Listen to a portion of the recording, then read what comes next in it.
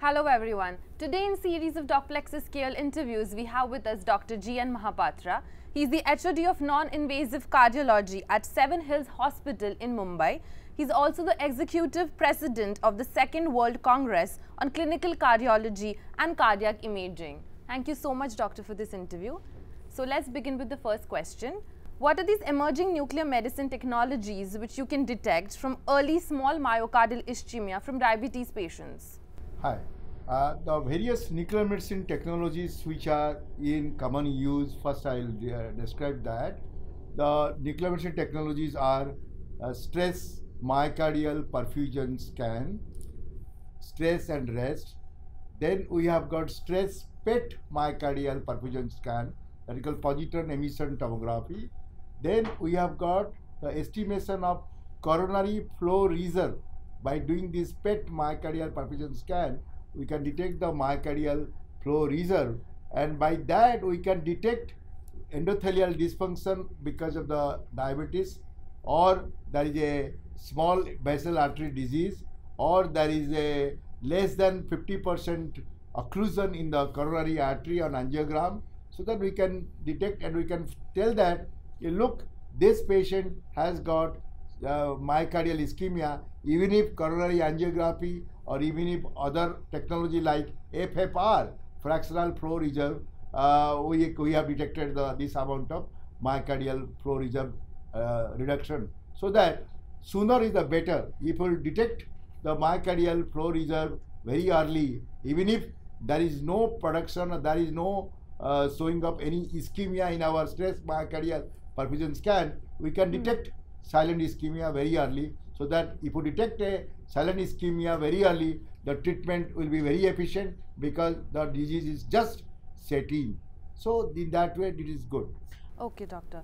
Uh, so my next question to you is, uh, how do you compare nuclear technologies with other non-invasive modalities? Yeah, there are also other nuclear medicine technologies are available. For example, 2D echocardiography, uh, MDCT, MRI, myocardial uh, imaging studies with MRI. So if you compare with this CT, echo, MRI, our study how it scores our myocardial perfusion scan over this. I'll go one by one. Okay. First is the echocardiography. You know everywhere, everywhere, everywhere, echocardiography is, is a operator dependent. And also when you detect a ischemia, if the ischemia is very big, then we cannot see in a, any a single view. Right. So number two. Number three, fatty patient. Number four, very poor window where we cannot visualize the myocardial muscles or myocardial wall. So this is called echocardiography disadvantages. And echocardiography cannot give you coronary flow reserve which are the early finding of myocardial ischemia or silent ischemia in case of diabetes mellitus. Coming to CT scan, the MDCT, that, that they only uh, find the intraluminal coronary lesion. This is anatomical lesion. But if there is a borderline anatomical lesion, borderline I mean that it is less than 50%, then, then in that case, uh, we never know whether the intervention should be done or not. So what they do, they do a FFR, that is called fractional flow reserve. But if even if they do the fractional flow reserve, uh, uh, the, the, the patients having small vessel artery disease, having endothelial dysfunction, having uh, insignificant lesion less than 50%, or it's a case of balanced ischemia. So in those cases, CT scan or MDCT will not be efficient. Similarly, MRI, yes, MRI is come out, coming out. Again, it's a still a research tool about the uh, CFR, coronary flow reserve.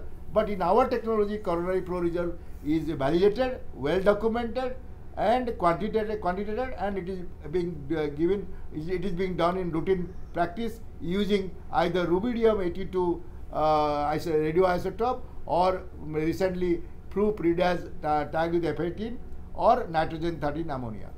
Uh, so doctor, moving on to the last question, how do you conclude that the nuclear medicine technology is the technology of choice to detect early myocardial ischemia? Okay, so nuclear medicine technologies, first of all, are non-invasive, cheap, quantitative, having a huge database as compared to other technologies such as uh, echocardiography, such as CT, such as MRI, number one. Number two, nuclear medicine technology scores over other technology in the form of the useful parameter called CFR, coronary flow reserve.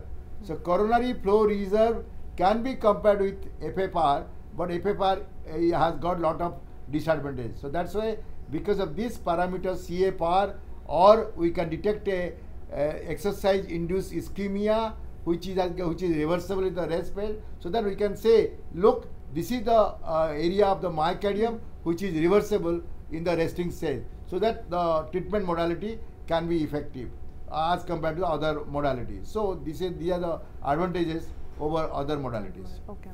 Uh, thank you so much, doctor, for the interview. It was pleasure having you here. thank you thank you Thank you.